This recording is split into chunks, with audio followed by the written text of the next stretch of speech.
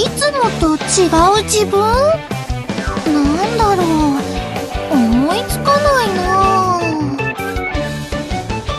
だってリンはいつでもどこでも元気いっぱいだもんね。あそういえばミューズに入る前とミューズに入った後でいつもって変わった気がする。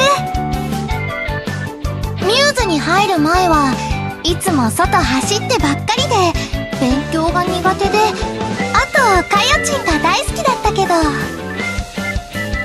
ミューズに入った後はスクールアイドルのことばっかり考えるようになったんだ。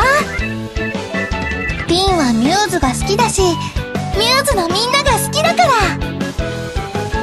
こんな可愛い衣装を着て歌ったり踊ったりするなんてびっくりだよね。